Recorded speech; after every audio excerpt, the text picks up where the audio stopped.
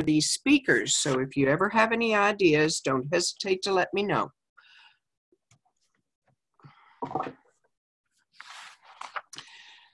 This is a little bit longer introduction than usual. It was sent to me by our speaker, uh, Kitty Bass, uh, and it, I decided to uh, use the whole thing. It's a little bit longer uh, because it really does introduce her topic as well as the speaker.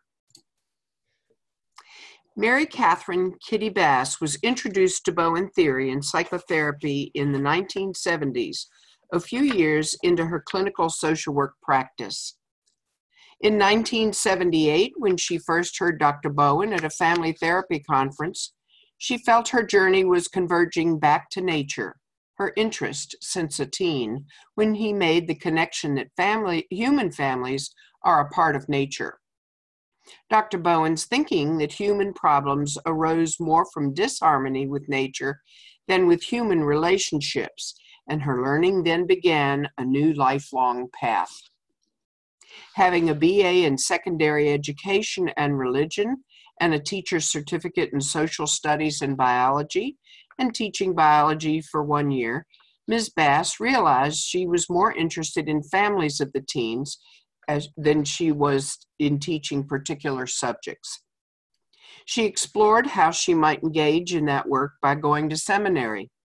The last semester of her MDiv program, she was a successful recruit for a year's work, the requirement at the children's home as a social worker before entering an MSW program. After hearing Dr. Bowen, she believed the theory provided a lifelong pursuit a challenge to live and study, and an opportunity to apply learning about how to live in harmony with nature. She completed the three year postgraduate program at the Family Center, including supervision and advanced supervision training with Dr. Kerr, and participated in Dr. Dan Papero's research group for several years. Ms. Bass described herself as a Celtic agrarian New South woman. She was born in Magnolia, North Carolina, a small rural town in Duplin County, the area to which her ancestors came from Scotland, Ireland, and England. She lived and worked in Raleigh in various clinical settings, including two hospitals, family services, and a private psychiatric practice for over 30 years. During this time, she also led an ongoing supervision group in Bowen Theory, presented family systems thinking to a number of seminary classes in pastoral care, lectured at the UNC Medical School, supervised resident psychiatrists interested in the theory, was a supervisor for clinical work as well as supervising for over 10 years at the UNC School of Social Work for second year MSW students. She was a diplomat and fellow with the American Board of Medical Psychotherapy. Several years before her parents died, Ms. Bass, as an only child, realized she would inherit the 300 acre family farm and ancestral home. So she began thinking about what she would do with this inheritance. Three years after her last parent died, she moved back to Magnolia, while her dream to establish a land use study center based on the application of Bowen theory did not materialize, she used what she had learned from the theory to work in an in an agroecological setting towards sustainable practices, living in harmony with nature. She attributes her 17 year survival there in a corporate, money driven culture regressed societally and a major contributor to climate change to her knowledge of Bowen theory as it relates to the relationship between humans and nature and societal process while under intensely anxious times. Her clinical work continued there in a rural health center, mental health center, and as an EAP provider for over 20 years, for a home health care and hospice agency, and for three years for the local hospital. Retired now to Wilmington, North Carolina, Ms. Bass continues a part time private practice opened in 1981. She is active as a master gardener and on the board for a program in horticulture therapy. She pretends sometimes to learn how to write creatively. She said to a Bowen Center colleague that she had spent a lifetime trying to differentiate herself and had finally given up to walk the beach, make hats, write poems, and drink scotch. The reply was, Atta girl, you finally got it. Ms. Bass promises tonight not to do the Highland Fling or play the bagpipes, nor go a wee minute past the hour presentation of Bowen theory as it applies to reclaiming and creating relationships to place, land, and nature. Ms. Bass?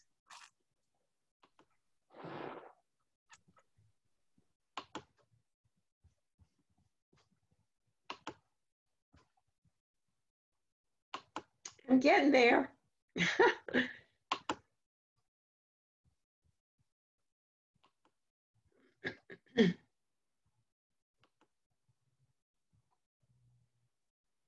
Hello, everyone. I hope you can hear me. Um, thanks for reading that too long introduction, Anne. Oh my goodness. I had no idea how that would sound. But it's so good to see the names of so many of you that I've known over the years and I just regret being unable to be in person there with all of you over the weekend.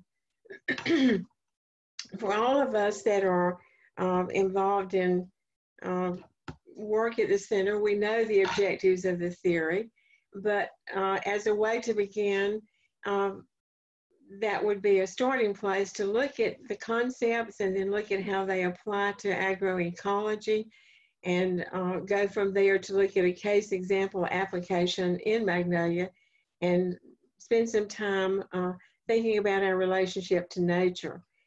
I guess my objective, however, would be that given this time of uh, stress for all of us with the coronavirus uh, being all of us in our homes, that we uh, use this time to just think more about relaxing and thinking outside the box. And um, I would be interested in your comments and your discussion as we uh, go into that later about how the theory really is a part of uh, our relationship with nature. An overview of the theory, of course, views families as emotionally driven systems.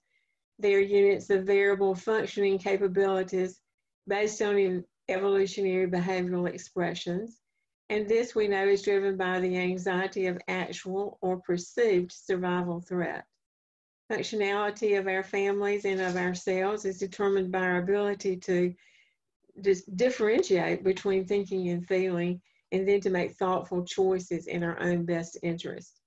We all are familiar with the concepts, the key one being differentiation of self, uh, how we uh, are programmed in our own family by the emotional process there, how we are a part of what's projected onto us from our parents, how that projection might have gone on for many generations, where we came into that uh, family, that our position as a sibling or an only child, and of course how we immediately then get entangled in triangles.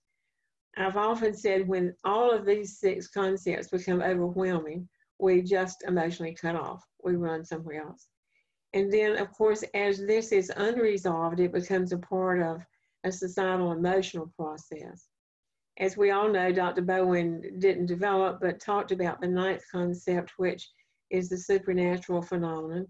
And uh, Dr. Kerr is proposing a 10th concept of unit disease. I would like for us to think about uh, stepping back and just observing and thinking with me about how this theory might apply to agroecology. Um, think outside the box for this. Agroecology embraces an understanding of ecological and social levels of coevolution, structure, and function.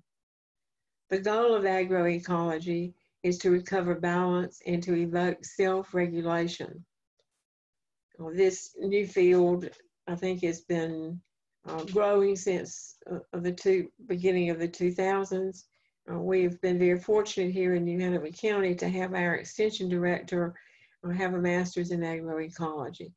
And this discipline not only looks at agriculture, but looks at agriculture in a context beyond what has been conventional agriculture that's been so destructive to the land, to the climate, to the environment, and to what we eat, both animals and plants. The focus in agroecology is on what is sustainable. And what is sustainable means what is economically viable, what is environmentally sound and socially just. Sustainability takes place within the harmonious interaction of humans, the agroecosystem, and the environment. how are human families a part of this? Uh, how do we fit in? And how do we relate to all of this? How do the concepts of the theory inform our land use, both the land use around our home, the land use in a community, in a development, on a farm, in a forest, or land that is just idle? And what are the contributions of theory to agroecology? As we look at that concept by concept, uh, sort of think with me out of the box again about this.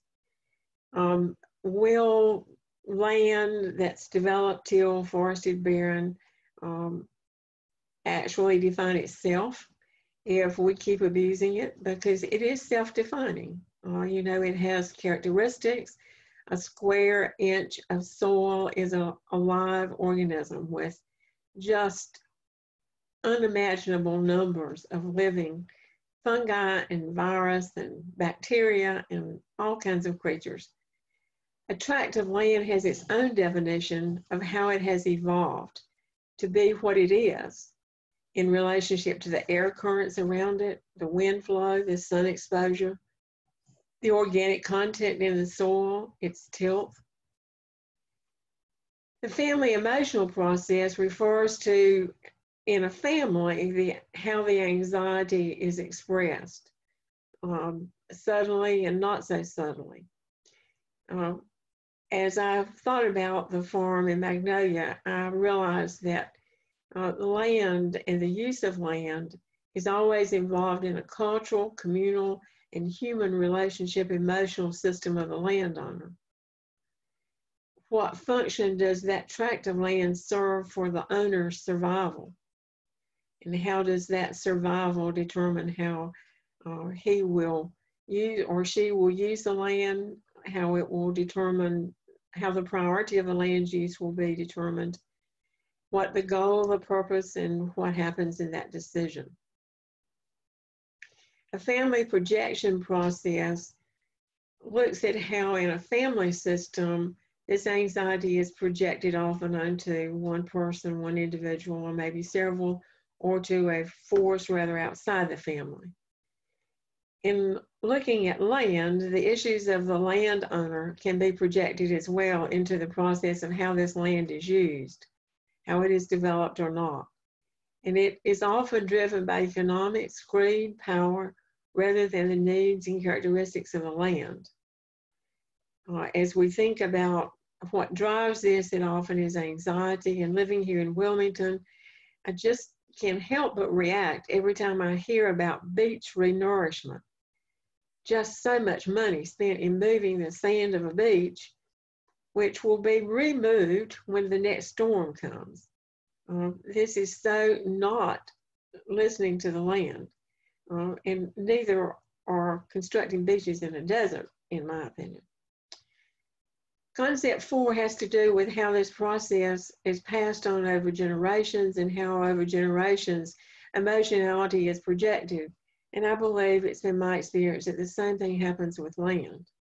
People continue to plant or do the same thing that's always been done without really paying attention to what the land is saying it needs. Is it depleted?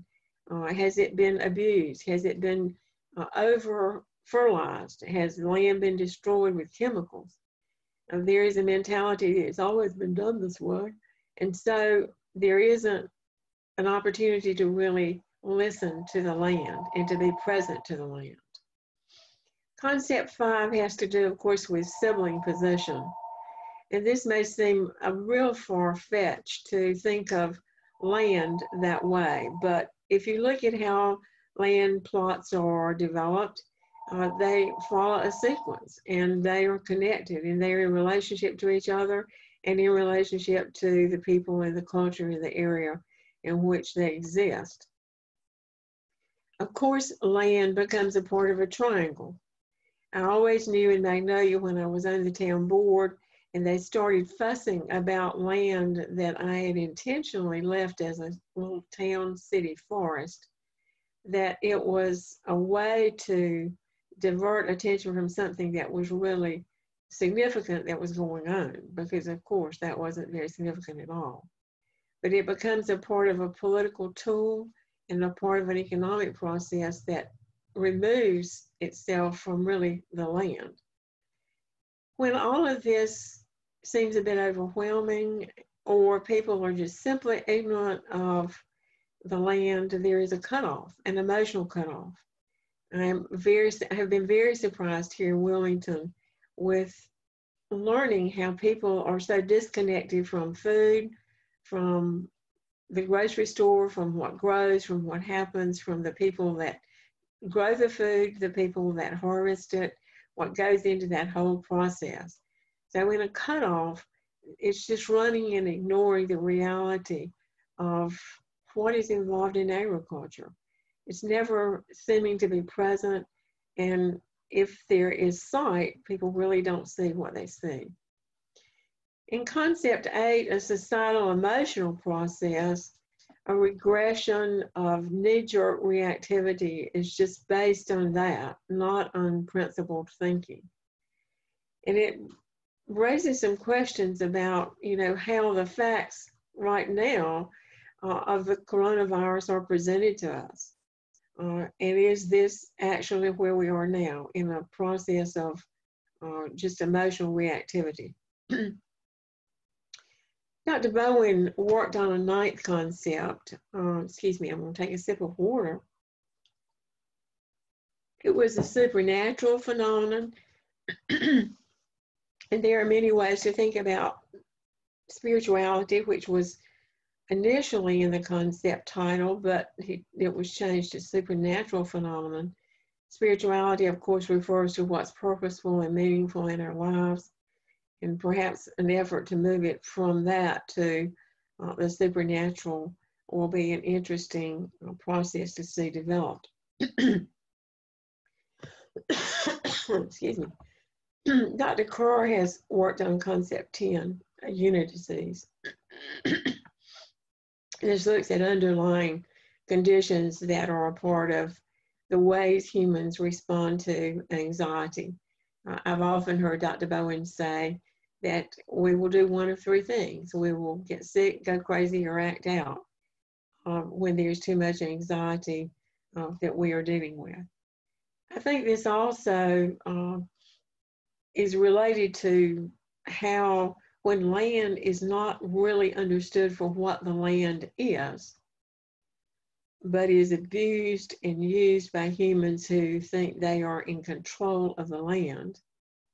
There are multiple ways to look at how there's collapse, disease, and how that is a part of climate change, how there is a collapse of the land, the health of the land. And is this process in nature similar to the human family? Is it really like the human family? When I went back to Magnolia, um, I was really fortunate to have the opportunity to be a part of coordinating a project there.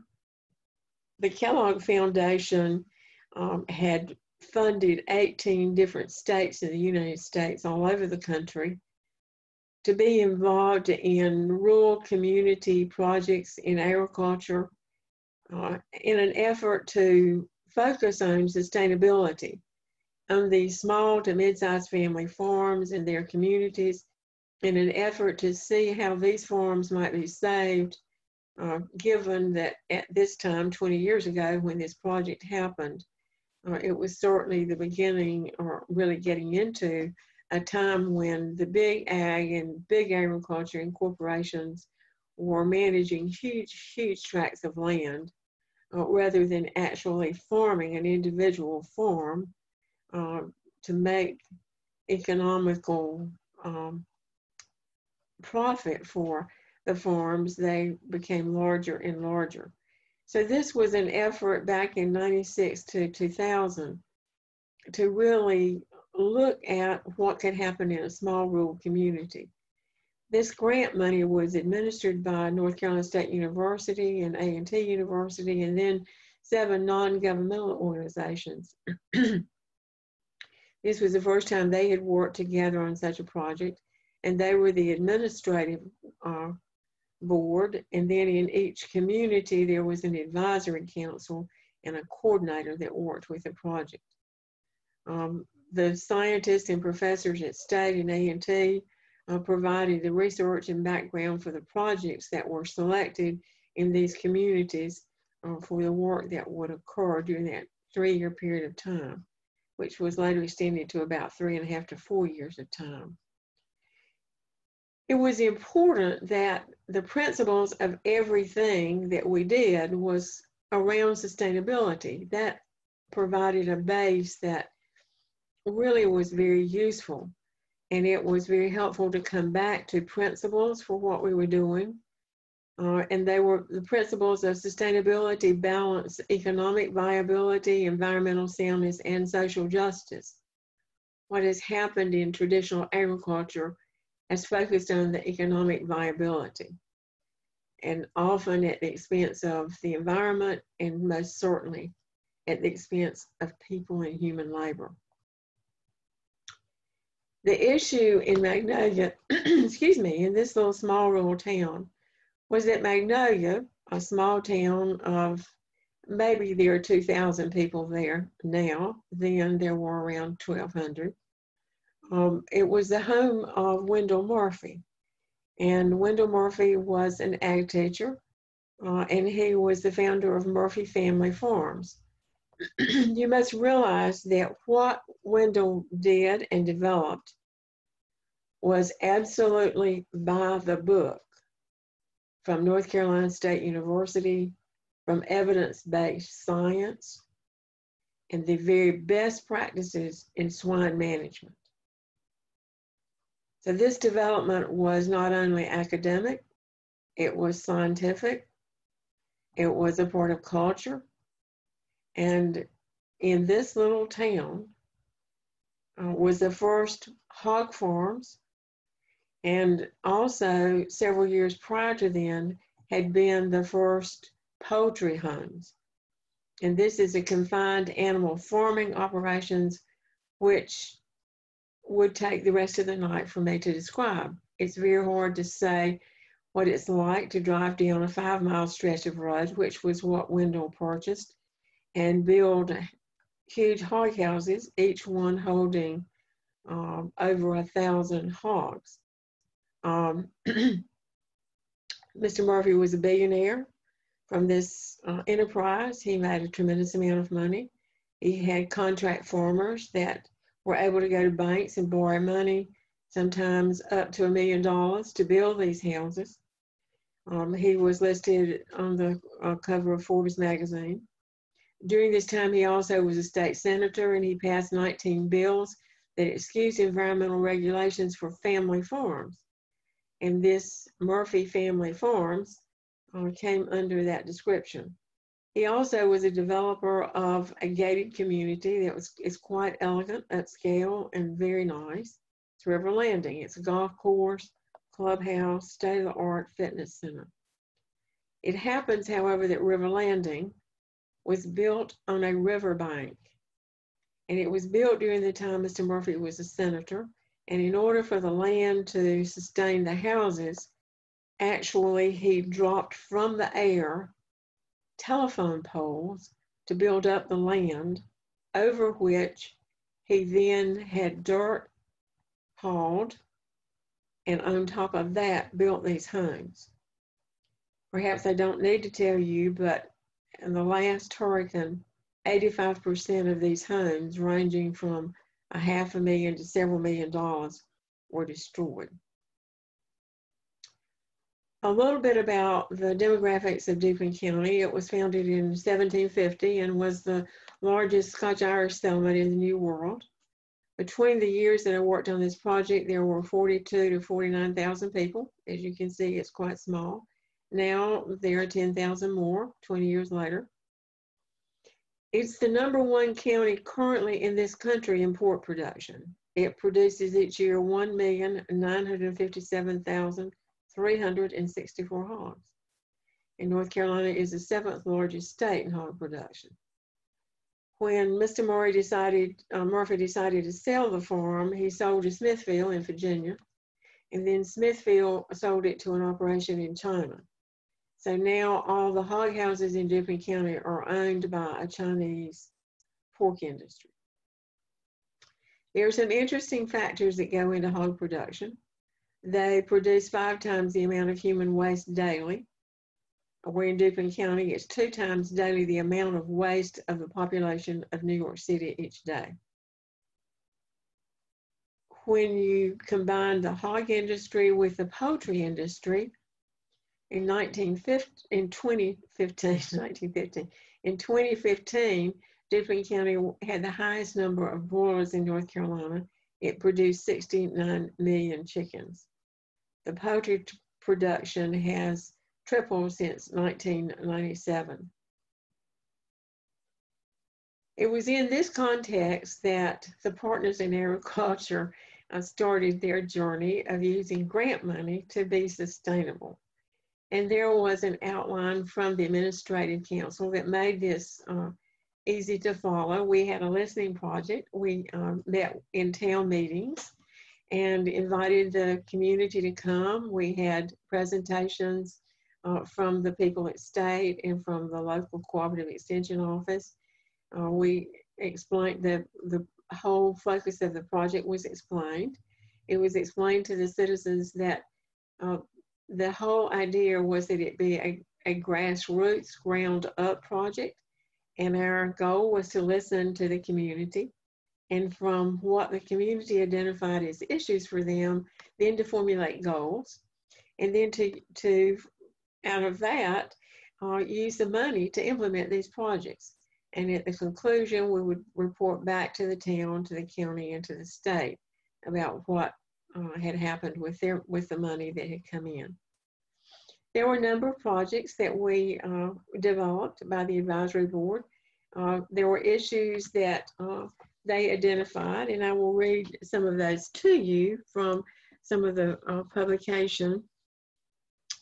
Um, what was important to Kellogg was that the Kellogg Foundation was looking at more sustainable ways of growing our food and maintaining rural communities. It meant caring about the needs of farmers as well as the consumers, being concerned about efficient and profitable production and the environment, and making sure that our agricultural systems had a positive impact on social lives, the community, and the young people. Uh, the survey a survey was developed by Magnolia residents, and the interview, uh, the interviews were completed with the information by the information gathered in the surveys, and we learned from that what was important to the people in Magnolia, uh, what they might be able to uh, see happen in that in this project uh, that could make a difference and that would be important to them. Uh, they were in-depth surveys and it was the questionnaires were all the same. So each person on the advisory committee went door to door talking to people and found out what they were concerned about. Uh, the people surveyed said that some of the challenges of farming were the lack of security or guaranteed profit. It was hard work. There was strong competition from very large operations. There was high, high cost of equipment, seed and fertilizer there was the need to keep up with technology and to have an adequate cash flow. Most said that important advantages were that they could be their own boss and felt pride in their work, and that the farm was a good place for children to grow up. The majority of the people surveyed said that they would rather, uh, they would prefer to farm for themselves and that they can make more money during the good years but then there were lower risk to marketing associated with the contract farming. They were also guaranteed to receive expertise in their farming operation, uh, and they could have easy access to bank loans if they were a part of a contract farming. They um, there was more accessibility to markets, a strong a stronger marketing strategy, and they were all listed as important factors for successful farming in the future. Diversifying farm products and developing maybe niche markets were seen as possibilities that would be innovative for small to mid-sized farms. Continuing to do contract farming was also identified as, as helping to keep farmers in business. And at the same time, what we also was hear, were hearing was all the problems associated with the huge lagoons that had to be washed out each day, the depletion of the aquifers that furnished the water for this many hogs. We were hearing about the odors. We were hearing about sickness. We were hearing about the flies. We knew that in the midst of this, the rivers had become contaminated. The oceans had become contaminated and fish were dying. It was during this time that a new organism was discovered, Pfiesteria, Part of its life cycle was as an animal, and part of it was as a plant. Nothing like that had been discovered before. All the people that we talked about were concerned about the environment, and they thought that was a crucial, most important issue. They were concerned about the animal waste. They were interested in working to find creative ways to problem solve, to take care of the land, the water, the air. Um, most people felt that being a successful farmer would set the best example for young people. So from this information, we set about to develop uh, projects. We designed, a, or someone from state designed for us from the uh, School of Design, a heritage garden. Magnolia had been at one time the world's largest bulb market, uh, larger than the bulb markets in Holland. We had a rich history of the land there, interesting fossils, natural wells. One of the problems, however, that with the contract farming and with big ag was that uh, the hay that was grown from these hog lagoon runoffs when they sprayed the field lagoons was creating chemical issues for the animals to which it was fed. They were still growing tobacco during that time, and there was an enormous amount of chemicals used to control uh, tobacco worms. And so that summer, or for several summers, we used some of the funding to hire a college student as a tobacco worm scout.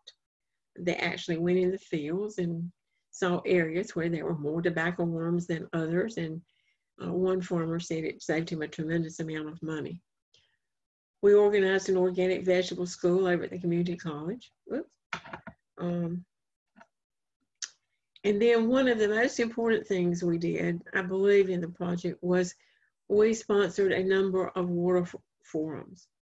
Um, we also arranged with Murphy Farms to have a sustainable farming tour for the hog growers. And then at the end of uh, the project, we had an environmental summit for the county. This work was done by the community, but we also worked in partnership with Murphy Family Farms, uh, with the County Community College, with, of course, the universities I mentioned.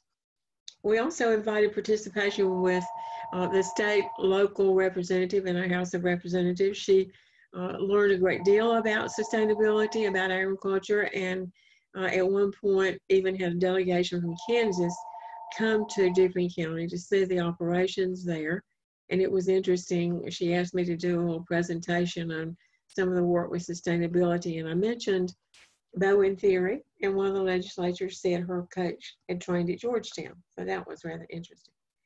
We also worked very closely with the Department of Water Quality, with the Riverkeeper. Uh, our meetings were all open each month to the public, um, and all the work was developed by the advisory committee. We had some interesting outcomes. We installed the community garden. Um, we saved farmers money with the projects. Um, we attended and participated in a national sustainable swine production conference uh, in a nearby county. Um, it was interesting because the animals in Duplin County in those huge factory farm houses are fed enormous amounts of antibiotics and hormones.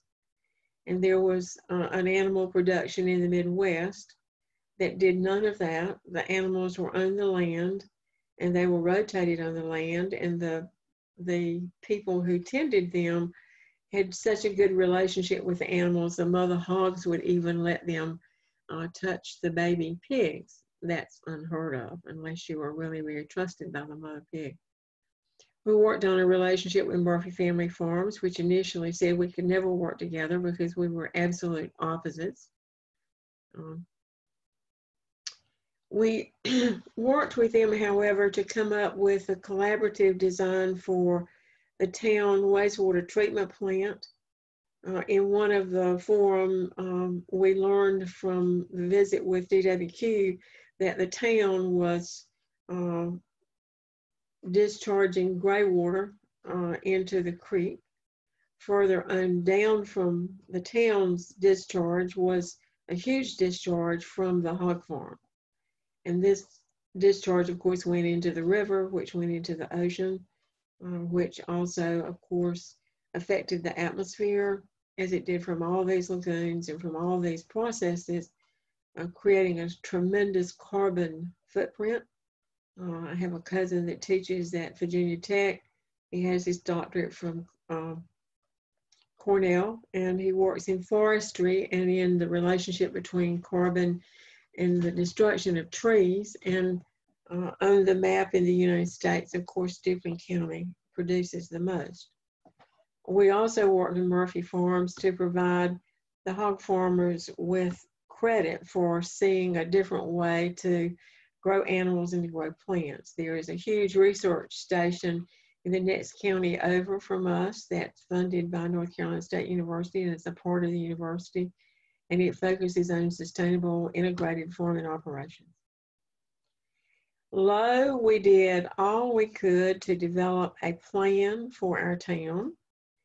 Uh, Murphy Farms and the board uh, designed a plan for the runoff waters from both the town and the industry to be managed through an artificial wetland and from that artificial wetland develop then um, a park area for everyone.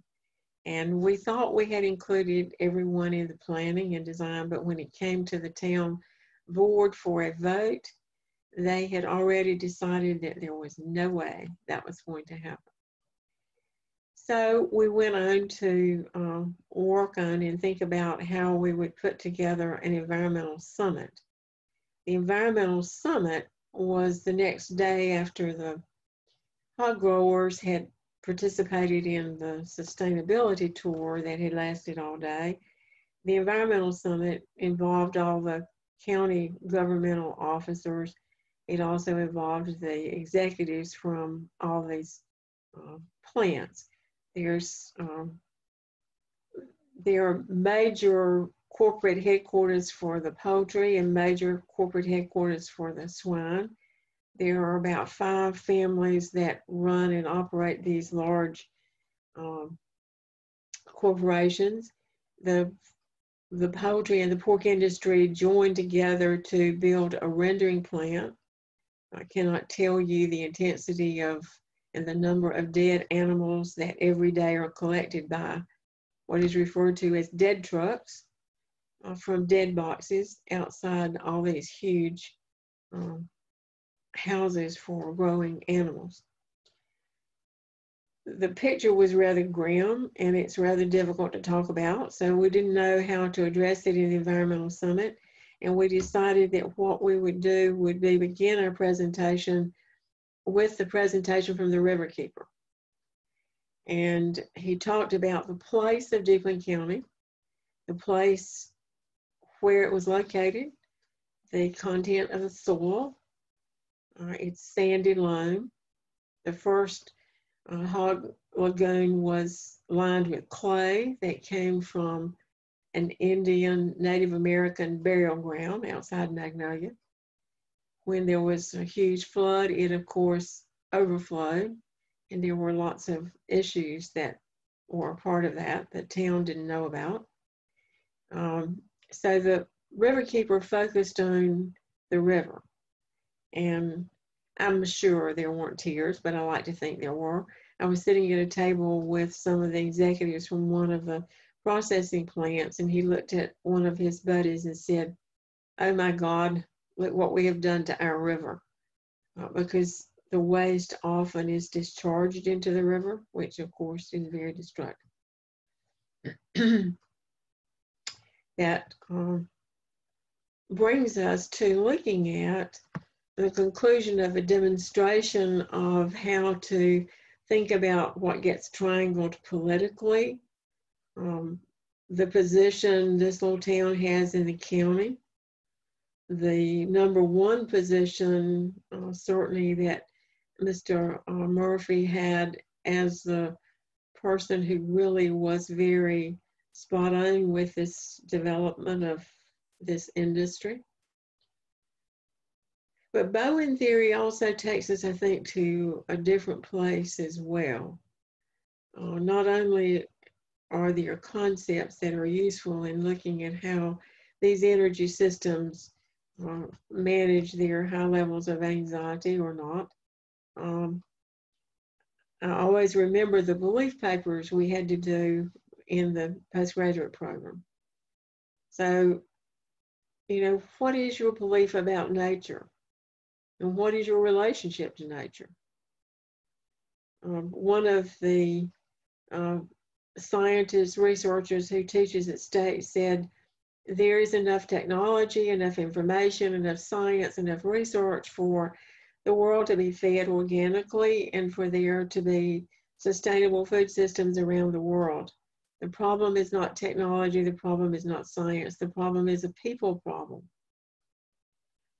When the riverkeeper was there and we were looking at all the things that happened to the landscape and to the lagoons and to the waterways, he said this issue is a spiritual issue. It has to do with values and what people believe. So where do we learn what we learn about nature? My mother was terrified of forest, of trees. You were not to go close to trees. You were not to play in trees. You would have nothing to do with trees. My dad, on the other hand, you know, there were half of the 300 acre farm was in trees and half of it was in cultivation. And he spent a great deal of time knowing what was in those forests and what grew there. It wasn't until during my time at Georgetown that I learned that when my mother once was going to visit her sister in the hospital and passed a large area here in town on a sidewalk, but it was a wooded area, she was um, attacked by someone that she was able to fight off. But the trees and forest to her brought back all those memories she didn't ever tell me as a child why I was to stay out of the forest, but just simply projected onto me all of her anxiety and fear. What's taught us by our parents and our grandparents, and how do our siblings react? And what does society and culture and religion teach us about nature? That we are subdue it to control it? What? Start thinking about a relationship past place to our personal relationship to nature uh, I have recently become very intrigued with uh, a, a, phenomenon I knew nothing about. It was it is forest therapy and forest medicine, and learned that we really co-evolved with trees in a savanna when humans first uh, became present on the earth.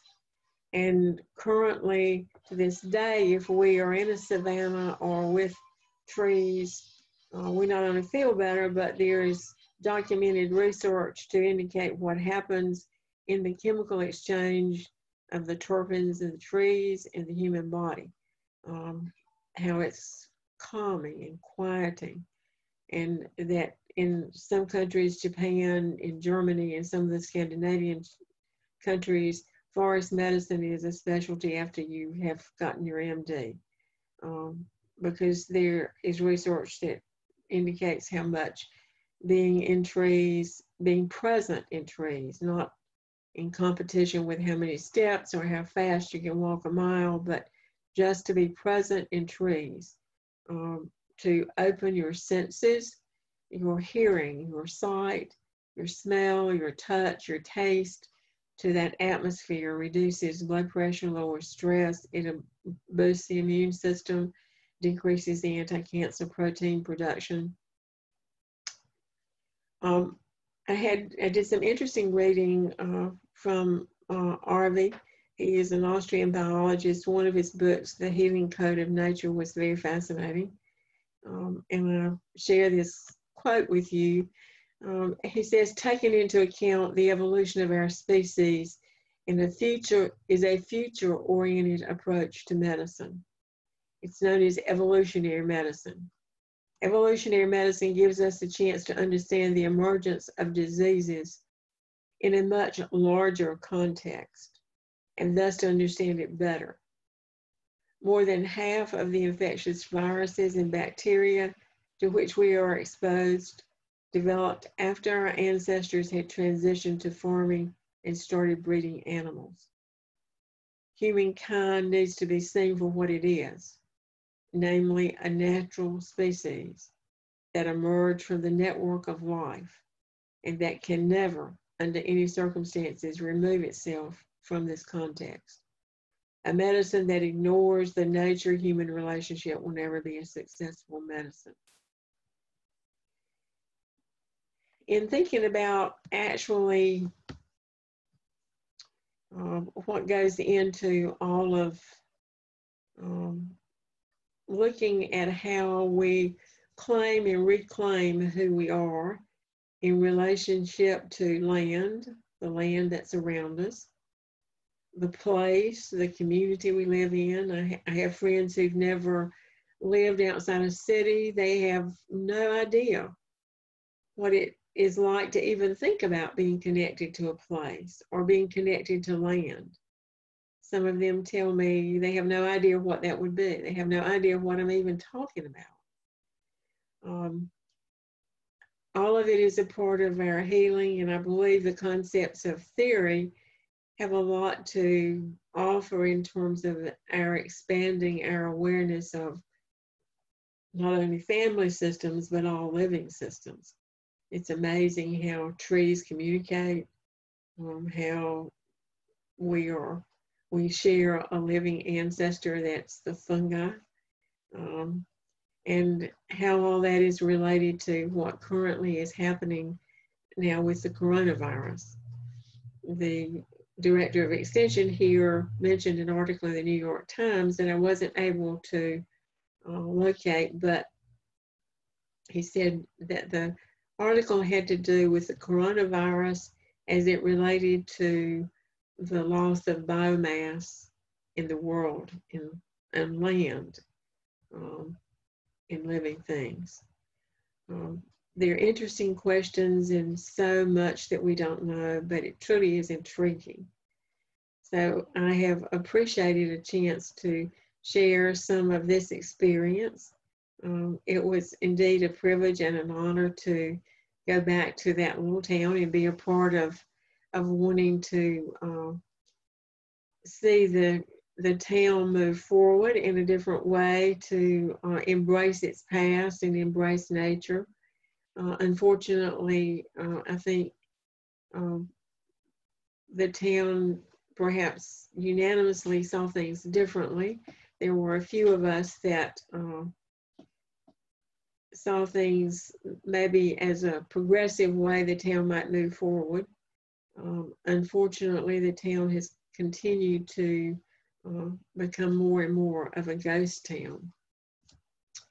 So in closing, before we uh, have our discussion, um, Wendell Berry deserves to have the last word. He was, after all, the father and the grandfather of agroecology. And I love his poem, and I think it's so appropriate as we think about just wondering about these wanderings in nature. Um, he writes about the peace of wild things, and it seems so appropriate for what we're going through now. When despair for the world grows in me and I wake up in the night at the least sound in fear of what my life and my children's lives may be, I go and lie down where the wood drake rests in his beauty on the water and the great heron feeds. I come into the peace of wild things who do not tax their lives with forethought of grief I come into the presence of still water. And I feel above me the day blind stars waiting with their light. For a time I rest in the grace of the world and am free. So, as they say on television, thank you for the privilege of your time. And now we will have discussion. I would be interested in your thoughts and your reactions and your questions.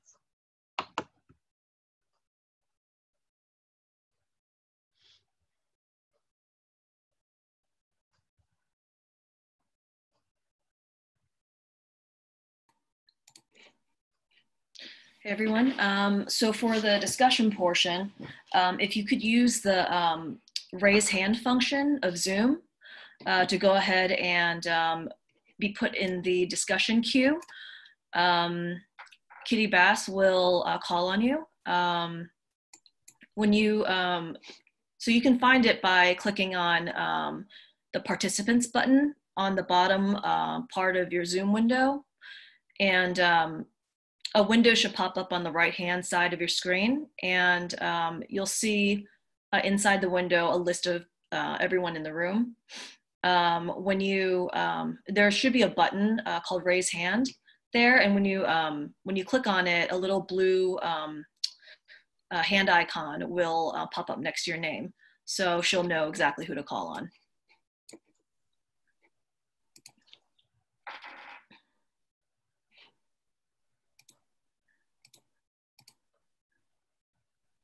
did um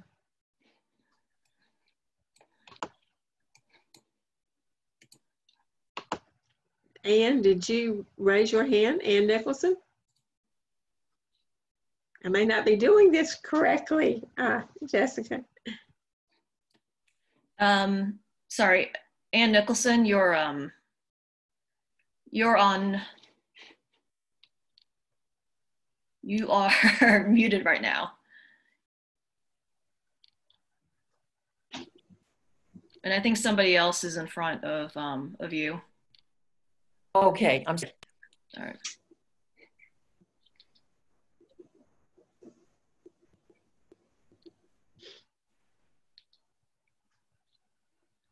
You know what? I'm gonna um I'm gonna okay. All right, um Jean Blackburn. Okay.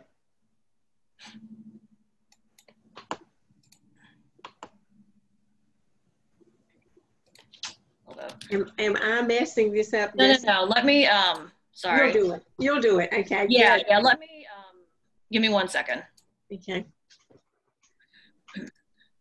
Okay, Jean Blackburn, could you? Um, let's have you be um, the first one up. And I thought I saw your um, hand go up. But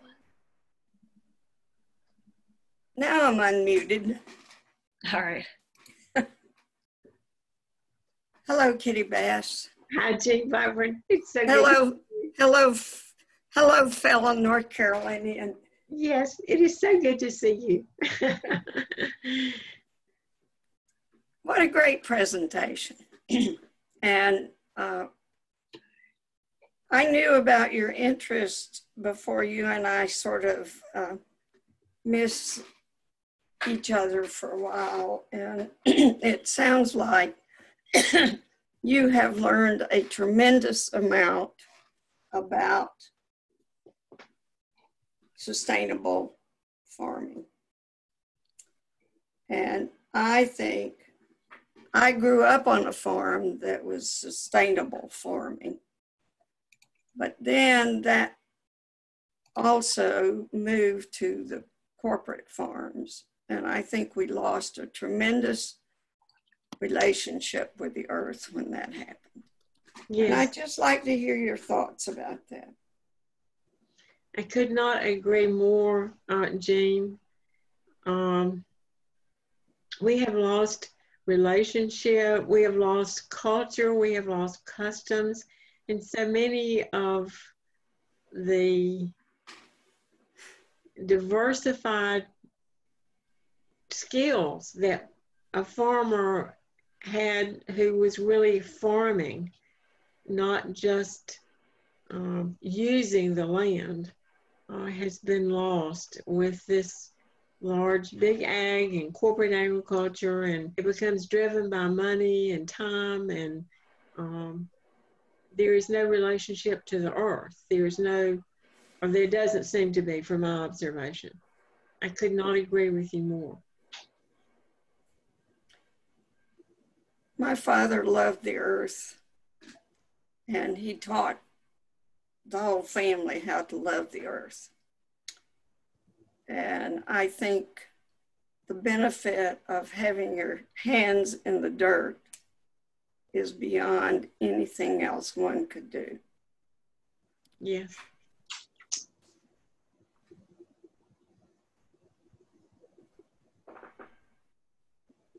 Thanks for the presentation. Thanks, Jean. It's so good to see you again. Ann Nicholson um, is up next. Um, well, uh, this was just great. Um, and I am so impressed with your uh, commitment to understanding the relationship or utilizing theory to understand man's relationship with the earth.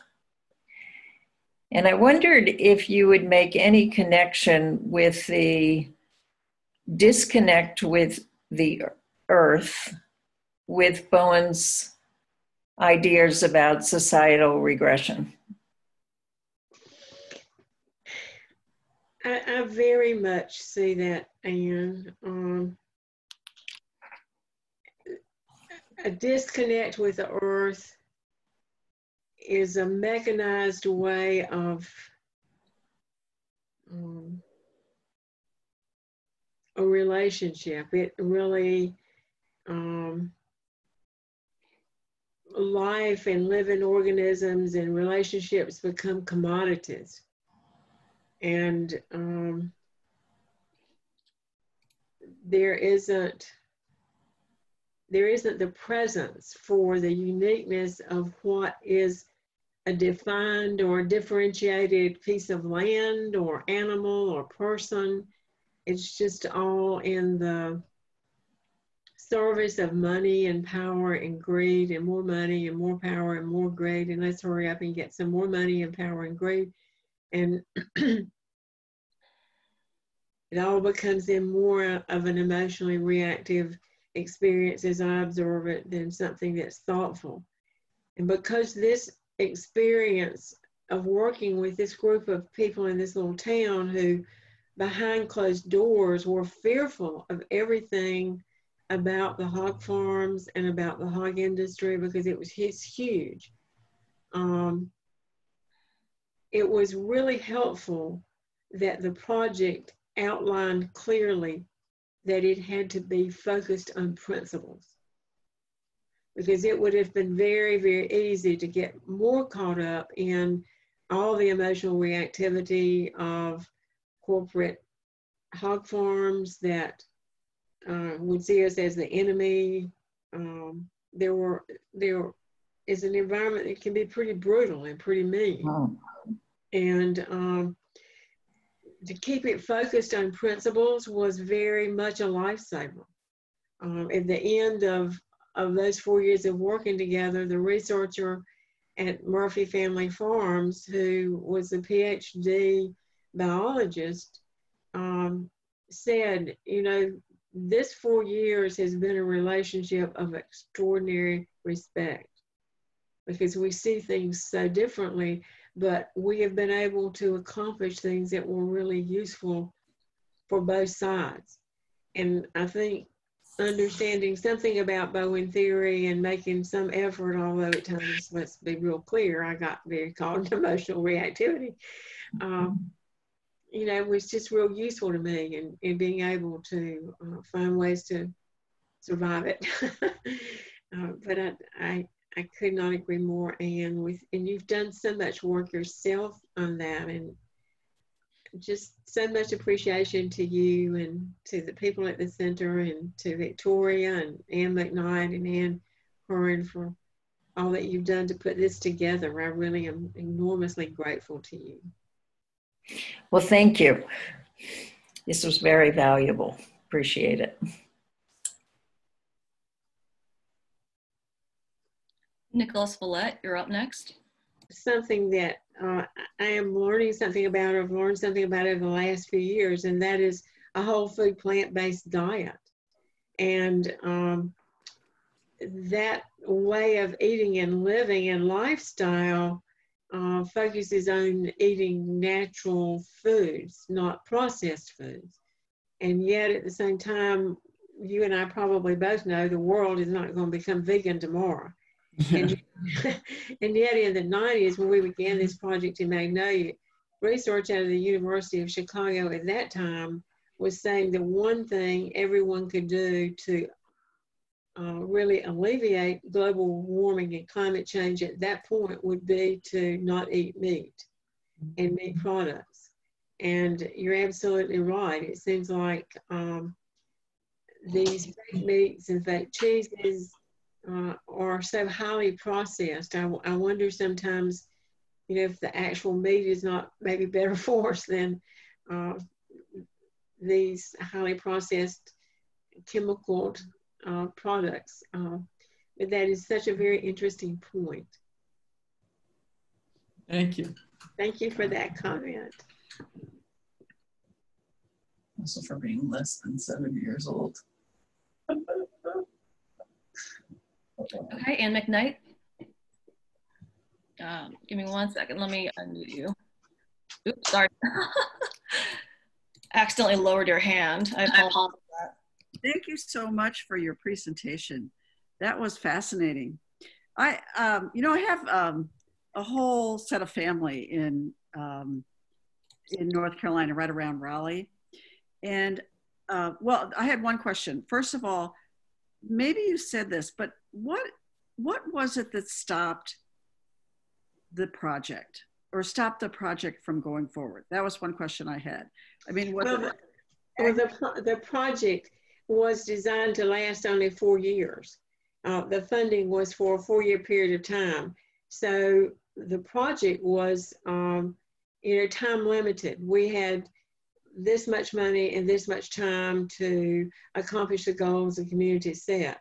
One of the projects we worked on during the, uh, one of the individual projects that we worked on in the larger uh, Magnolia Partners project itself was this um, design with Murphy Family Farms to do uh, an artificial wetlands. And, uh, you know, what ended that specific uh, project that was a part of the bigger project was the politics of the town mm-hmm. and how anxious people became over a process that would be different from a wastewater treatment facility with chemicals and a grant and money and more people to be hired and more chemicals. So it was, you know, very interesting because um, what we were proposing both the uh, hog industry and the people that were working in the sustainability project was a way to reduce the cost and the chemicals, uh, but that was um, that was something the town just could not wrap its brain around, so it was voted down. But the project itself, uh, all of these projects all over the United States were for four years. So it was time limited from the beginning. We had that period of time to use the money to address the issues the community raised. But thank you for raising that question, Ann. And thank you for what you have done at the center and for putting on this conference, you and Victoria. And- I, I take a minor role. But my second question is you know, it seems like there's a whole upwelling in North Carolina of um, of uh, produce produced for farmers markets. Uh, Yes, And I, I just wondered where that fit into this whole picture now. that is, that is a wonderful, wonderful comment, Ann, and, and thanks so much for, for raising that. Yes, I think that there is, as a friend of mine said, the Underground Railroad still runs. And with the onslaught of so much big corporate ag and big ag, there has also been a growth in uh, organic farms, in uh, community farm uh, boxes that are delivered in farmers markets. There has been uh, a project developed with state and A&T to uh, have donation stations at farmers markets where people can donate either buy food that's there from the local farmers or contribute money. And at the end of the farmers market, that money is taken and then goes back to the farmers that are there to buy produce. And then that fresh produce goes to the food pantries so that people who are truly unable to uh, buy fresh food have a chance to have fresh produce. Because often with the food pantries and um, income restricted families, fresh food is something they really don't get. It's either canned or packaged. And so this has been a, a part of something Wilmington has participated in this past year that's been very, excuse me, has been very interesting and well received. And we feel like we have really uh, been a part of providing fresh produce to people who otherwise would not be able to, to have that. But there has been in North Carolina a real growth of that. And one of the things that was an outcome of, of this partners project in the state of North Carolina was the realization of a need for refrigerated uh, transportation, a need to develop these niches for farmers markets. And I think that was a positive overall for the whole state because there were three other communities that joined us in North Carolina in participating in this. We were chosen because of our relationship with the with the animal uh, industry. But there was one community that was African American farmers that were peanut growers, and there was another community that was in the mountains, and their focus was on produce farming. So um, I think that was a very positive thing that came out of the whole project in North Carolina was support for these farmers, and it's been wonderful to see. Oh, thank you. Um, next up is Victoria Harrison. Thank you. Kitty Bass, it was so good to see you, even you, virtually. It's good to see you, and thanks Thank for putting you. together the conference tomorrow. And you're part of this tonight. It's just fantastic. It's really exciting that we can do it online, Yes, isn't it? if not in person. Right. Um, One of the purposes of the conference is to further ongoing productive projects based on the thinking that people bring and the thinking stirred. and you had a, a great list of, of questions about three quarters of the way through your talk today that one of them was what is your belief about nature what's your relationship with nature but there were three or four others and oh um, sorry and i just um, wondered if i could if you could repeat those because i thought they would be great homework Ah, um, you know, I can't get, I, I'm so computer illiterate. I can't get back to those questions, but I will look at uh, that after we get off the program and I will email those to you. I think that would be great. Um, the um, one of the ideas that I'm working on here in Houston is how to use this triple lot that I have in downtown Houston for educational programming, gardening, but also educational programming. We did a we did one project on building soil Mhm. and the vitality of soil and and um, the woman who taught the course took examples from my yard where the soil was dead Yes. and I didn't know it. I didn't know what dead soil looked like. And then she compared it with living soil. And we, Yes.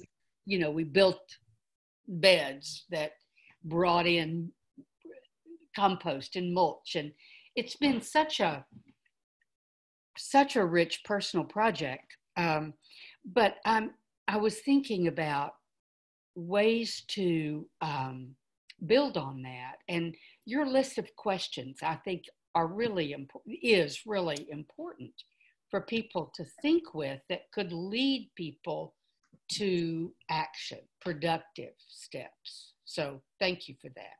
Yes. What are you doing next? Or what are you currently working on? Well, what I'm currently working on is hoping one day to do more with my little yard here around this little patio home where I live. And I am on the board of an ability garden at our arboretum.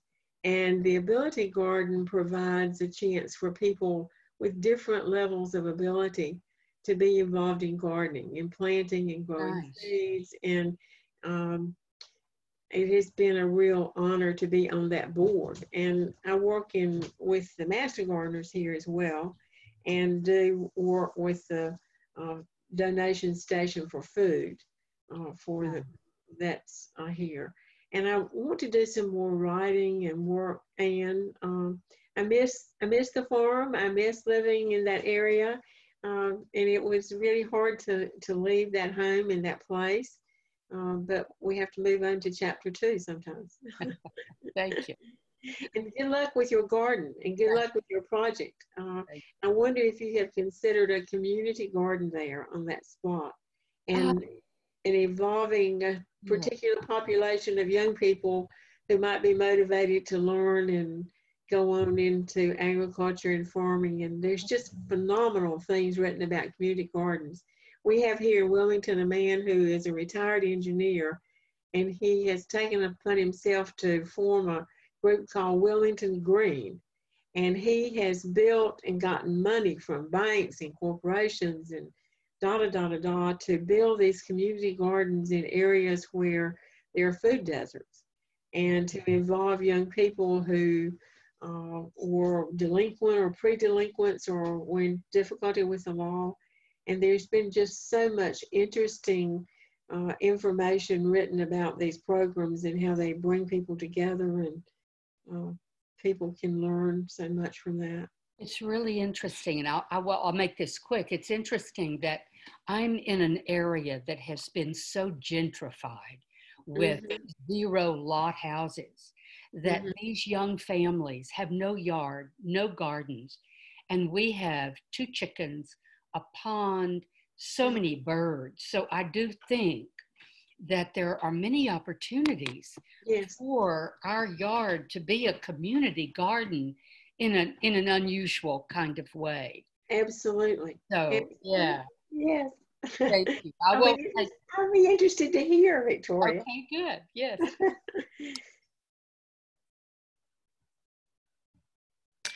Okay, next up is um, Tim Pearson. Uh, hello, and thank you very, very much. Um, I'm uh, in from Anchorage, Alaska. I grew up amongst the Alaska Native peoples, uh, a village of about 200. Uh, they, uh, they have a very spiritual connection to the land. And I'd be interested to know what you learned in terms of concept nine, in terms of uh, spirituality and the supernatural. Um, uh, I come from a Christian faith tradition, and in that, uh, the Holy Spirit imbues and infills everything, and prayer is extremely powerful. So I'd just be interested in your observations and thoughts. Well, thank you for that question because that is something you know very dear to my heart and very close. I I come from a Celtic tradition where uh, all of nature and all of the land and all living things are, as you said so well, infused with the holy. and it's all sacred. And that does inform, I believe, how you handle a relationship, how you manage yourself, and how you relate to other people and to the land. It is a part of our belief system. Um, I belonged for a time to a congregation, uh, the Unitarian Universalist con- congregation, which had uh, an earth ministry program as part of what it offered. And uh, I was ordained as a community minister in that tradition for the ministry of earth interrelationships. And um, that journey was really a very meaningful and powerful one for me.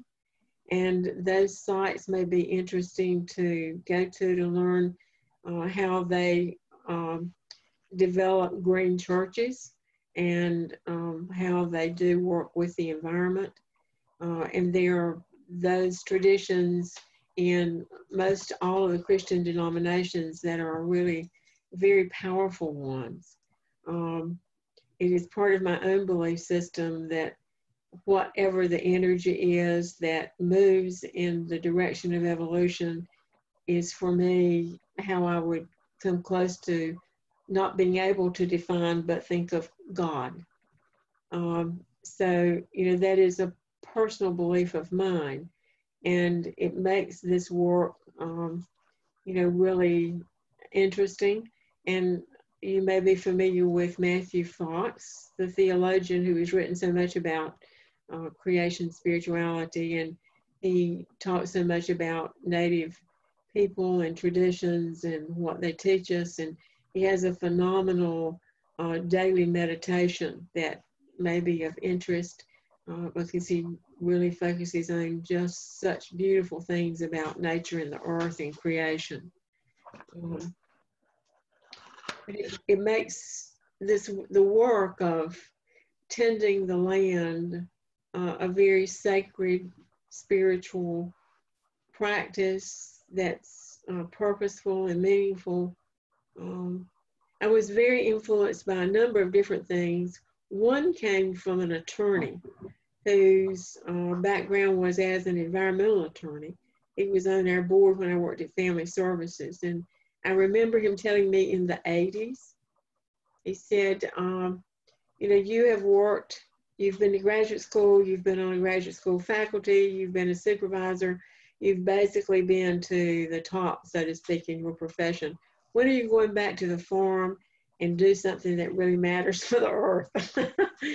and I thought never. And then, of course, I did. but uh, he uh, certainly influenced me over the years. That little voice kept going on in my head. When are you going back to the land and do something that matters? so good luck with your project. And it's fascinating that you're in Anchorage, and uh, I know it must be very rich living there. Thanks for your question. Thank you. Thank you. Up next is um, Amy Gullickson.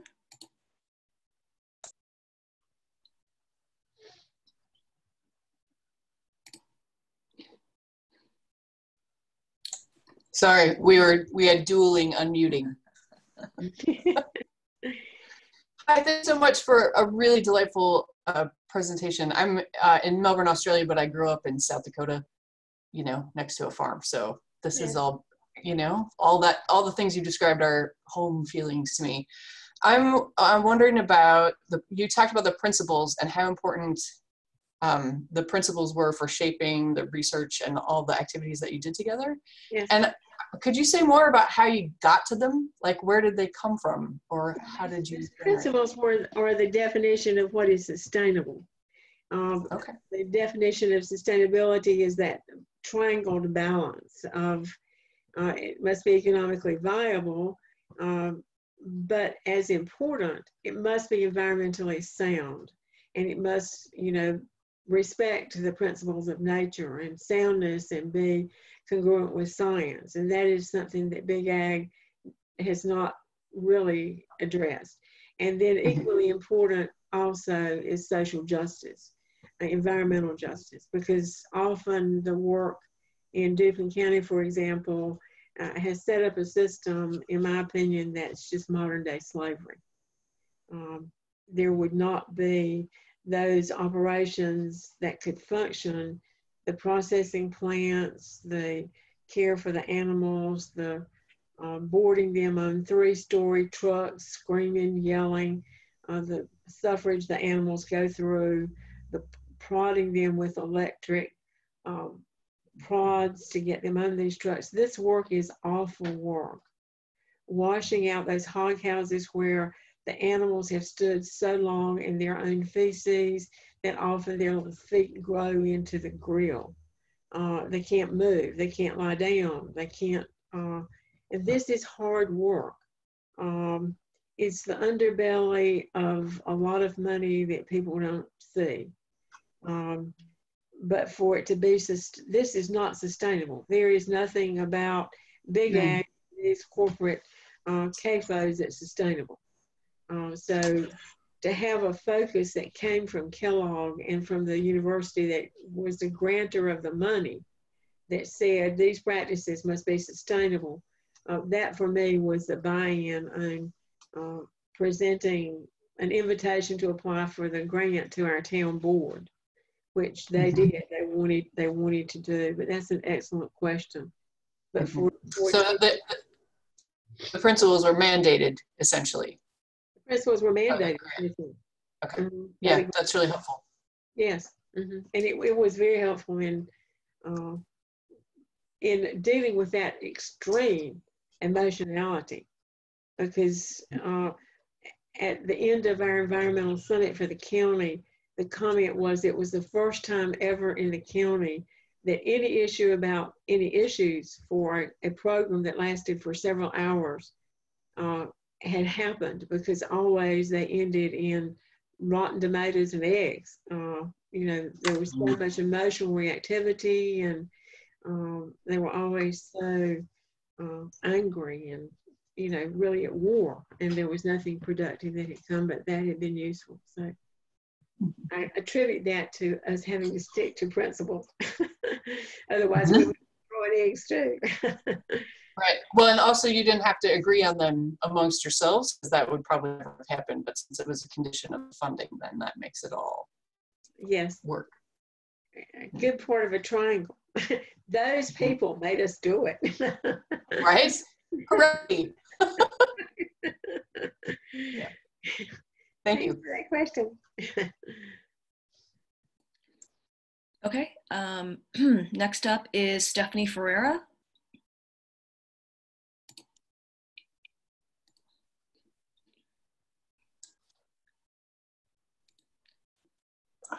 Go ahead, Stephanie. Okay, thank you. Um, well, this is it's very interesting, and you know how what a natural project this was for you, Kitty, coming back to your family farm and and your home, you know, the land that you were so attached to, and being able to do as much as you did. But one of the points that I noticed was that the Murphy farm was sold to, that was, you know, a fairly sizable business.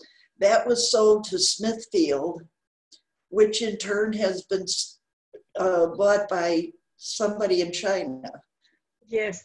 and it, it, it, it, this, this whole enterprise, uh, as it, from a business point of view, it's followed the same pattern that so many businesses have in uh, in all different areas of our economy.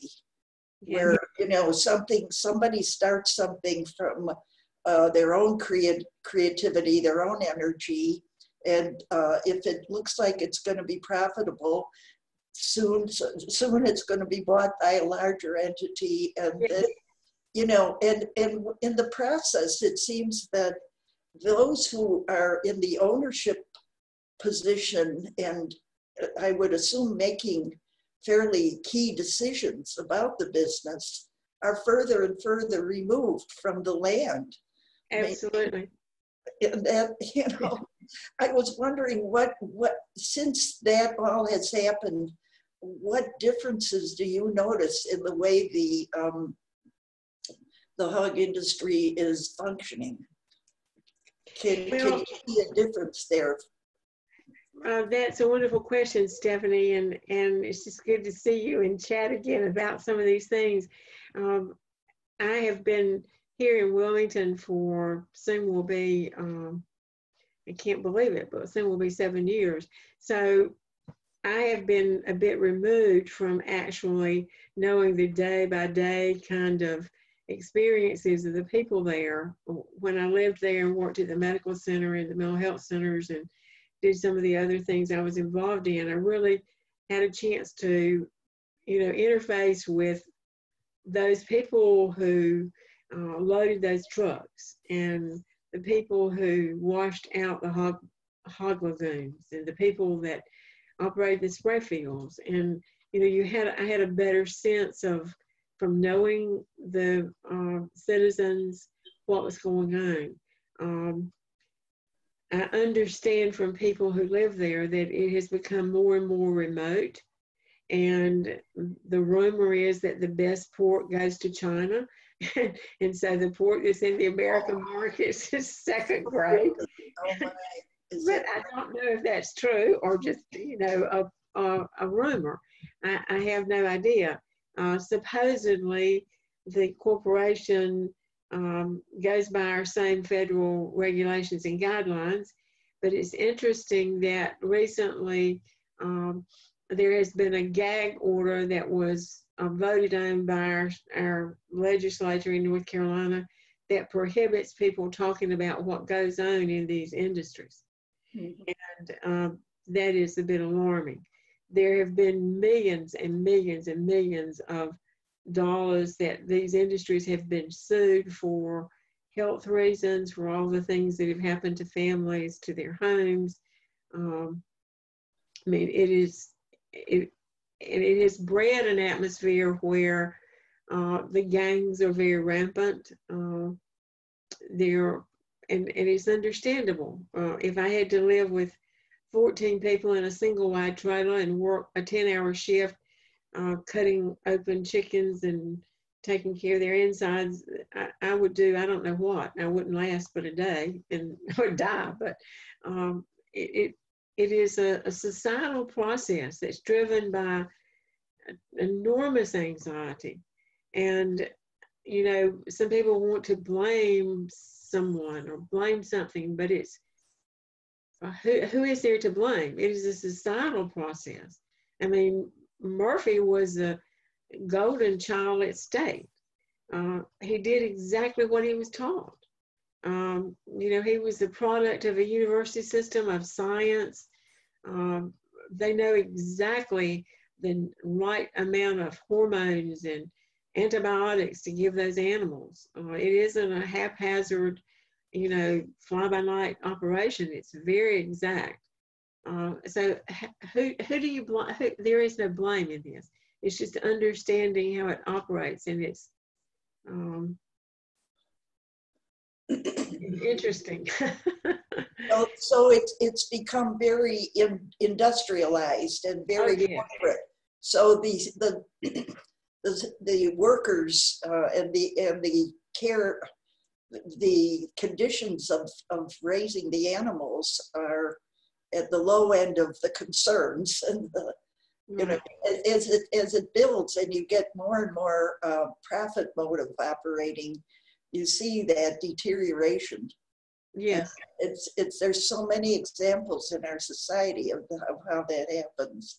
Well, one of your beautiful pictures of the river made me um, think about we have an organization of in Chicago that's called Friends of the Chicago River. Yes. The Chicago River um, was polluted very badly. It was sort of like the, the, the back door of the city. Lake Michigan was the, you know, was highly valued. The, the river was not until until it started people did start to pay attention and it seems like when you come down to something as basic as your waterways, and those waterways are being destroyed that supply so many people um, with that basic necessity, it seems like that would really mobilize uh, some organized um, opposition to to these practices? Well, there has there has been some there have been several groups that have been organized that have addressed this. Um, the River Keepers Association specifically. Um, there have been in North Carolina books written. There have been many publications. There's been a whole newspaper series that was a uh, Pulitzer Prize winning series on Boss Hog. And uh, when the organism Pfiesteria was discovered and it lived part of its life cycle as a plant and part of it as an animal, uh, there was a tremendous amount written about about that and the reason and some of the thinking about how that evolved in relation to all this turmoil and abuse and um, so it, it it really it really has happened in North Carolina. There have been tremendous lawsuits handled by the Riverkeepers Association. or Robert Kennedy Jr., for example, has been very involved with people in Duplin County in the Pace Law School in New York uh, in bringing, um, you know, suits against the industry. It's ongoing. There the legislature has now put a cap on how much they can be sued for because uh, it's just it's you, you almost feel like when you're in it it's completely and totally out of control yeah uh, and that that is the feeling level the emotional level and um, to take a position around one issue uh, you know is very challenging because the industry controls everything. The schools, they control the libraries, they control medical care. If you, in your job, talk about the industry, then you may be fired. That happened to a friend of mine. Uh, and, um, you know, they will not tolerate the uh, disagreement with what they're doing. So it, it breeds violence. North Carolina, you know, has, or Duplin County has the highest number of uh, Hispanic immigrants in the state. And, um, you know, it, it just involves so many issues on so many levels. Yeah. So it's, it gets back to very fundamental issues of social justice in many ways. Thank you very much, Kitty. Thanks, Stephanie. Good to see you.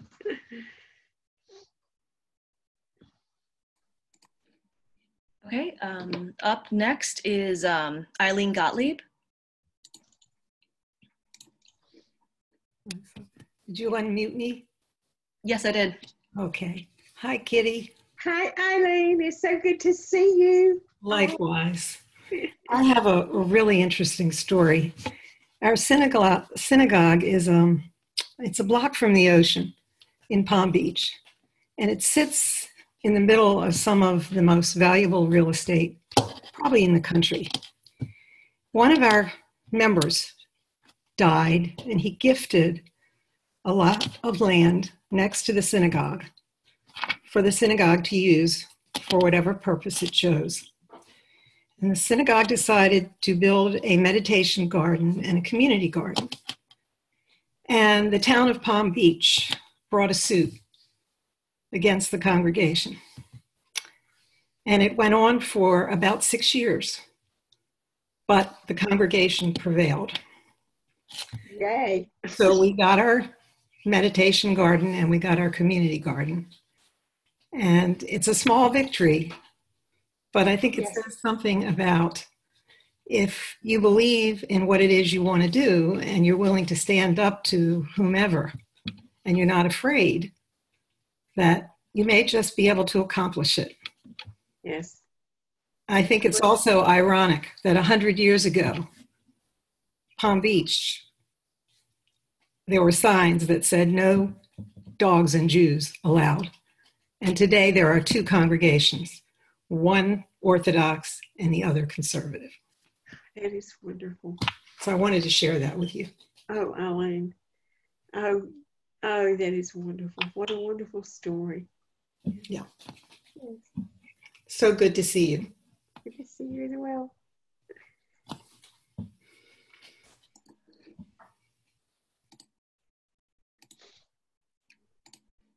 All right, um, up next is Laura Halfstad. You're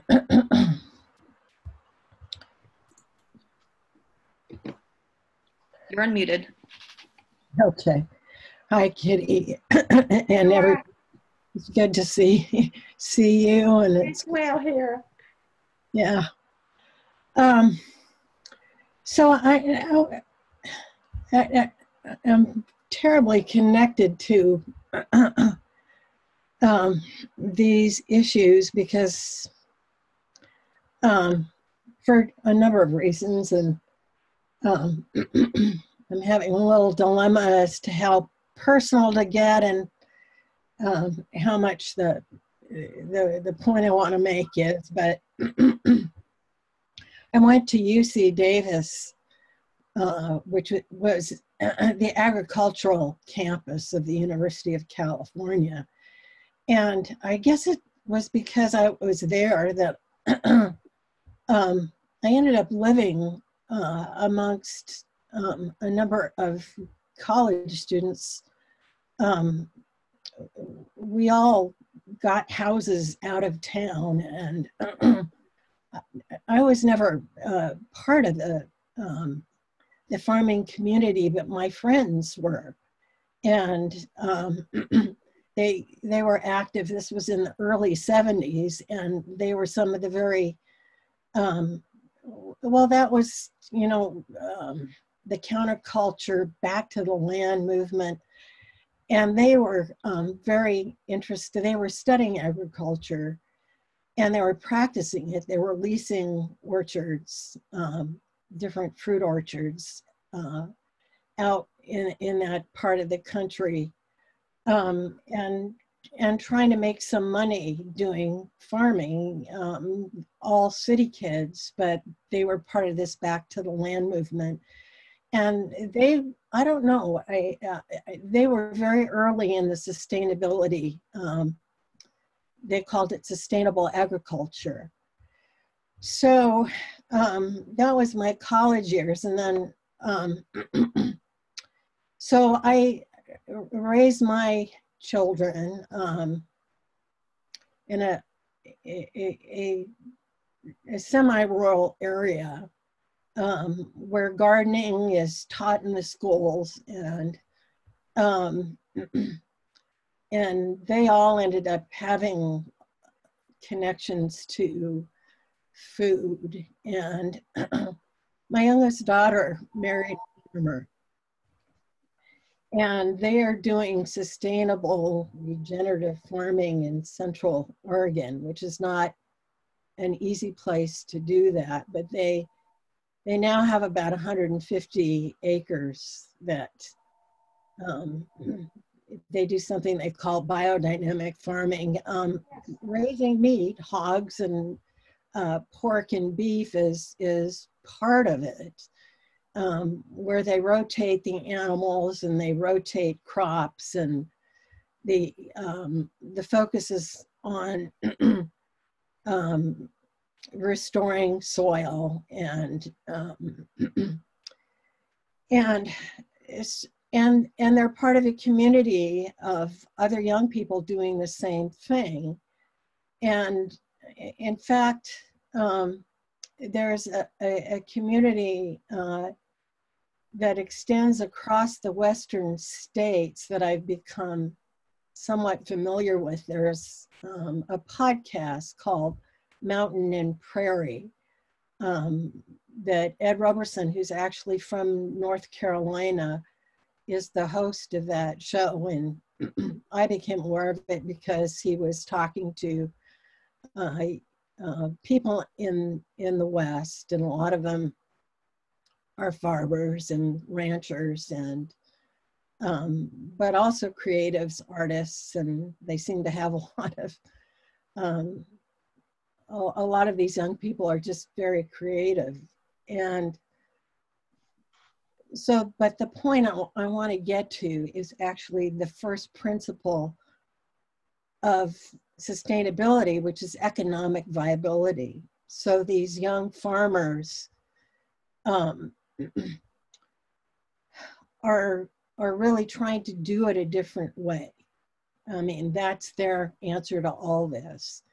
And there's an organization in Portland, Oregon called EcoTrust, which um, sounds like it had a lot in common with that, um, uh, the Magnolia Partners, in that their mission is the um, support of uh, mid-sized farmers and even fisheries and different food producers, where they have mentorship programs and they take these young farmers, a lot of them who have gotten into it because they're part of family farms. Um, in my daughter's case, the, it's not a multi-generational family farm, but her husband's parents basically financed purchasing of property and and so the families are part of it and they get mentorship in the business of farming.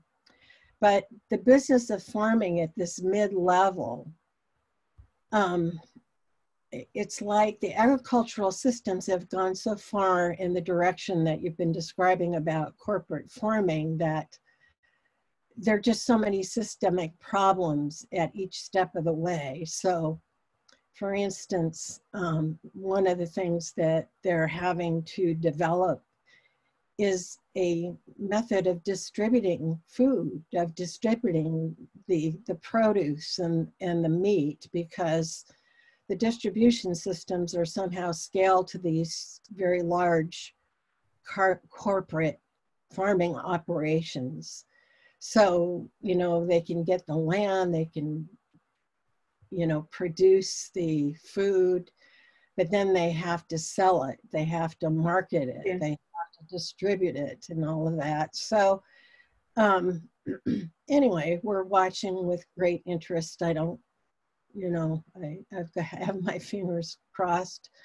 Um, there was a, um, a film that you might be aware of. I think it's called The Biggest Little Farm that kind of got popular just in the past year.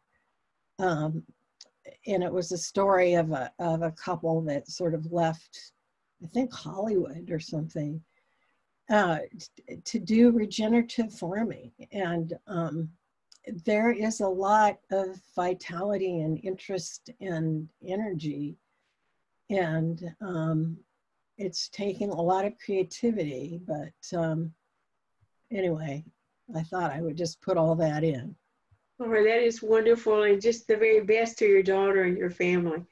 I, I think there's such energy and such aliveness, and uh, for a soft word, a lot of hope in uh, young people who are actually getting it, so to speak, and seeing uh, that there is a way through this to the other side that uh, is relational and respectful and uh, is so different from sustainable.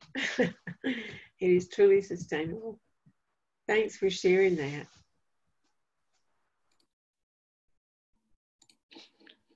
Okay, um, next up is Elsa Lau. Oh, thank you. Um, sorry, everyone. I prefer not to show my face because I'm in my paj pajamas. Um, um, I'm from Melbourne. I worked for a cancer support service uh, for a few years. So I'm very interested in uh, the relationship of forest med medicine in relation to cancer. Um, can Mary um, comment more about this, or can I refer to any readings or books uh, yes. in, regard to the topic? Thank you. Um, thank you for that question, and, and that is such a good one. I am such a novice at that whole idea. It was just so phenomenal to me. But if you will do research or Google uh, forest medicine, uh, the Japanese particularly, and people there and in Germany or just doing a lot of uh, research in that area. And there are some wonderful articles that, uh, and I don't have a reference to them, but I have seen them online. Um, but I'm, I'm sure you can find more there. And there are some um, places in the United States that are beginning to offer this. The American Forestry Association is offering uh, training and internships in forest therapy and uh, they don't get into the clinical and medical side of it as much as into the preventive and the experiential uh, elements of being in the forest. Um, but it is just a very interesting field for me and uh, in learning about it. And I, I, wish I were more knowledgeable and had more resources that I could uh, share with you. And, and i regret I don't. But uh, good luck with your online search. Okay, thank you. Thank you very much. Yes.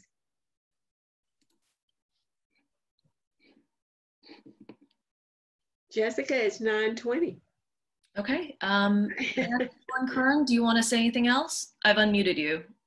Yes, I would like to say very much a thank you for from for Kitty and all that she's put into her work and her research over the years and and her willingness to bring that to us once again um, we heard her in the earlier years and she was working on this then let me give you a, an idea of next month. Next month, on May the 28th, we have Dr. Kathleen Smith, who's a faculty member at the Bowen Center, and she'll be talking about writing about Bowen theory for a popular audience. Much different from what we're hearing this weekend. so, thank you all for your participation, and please come back. See you hopefully tomorrow and the next day. Thanks. Evening. Thanks, Bye, everyone. Night, Kitty. Good night, Ann. Good night, all.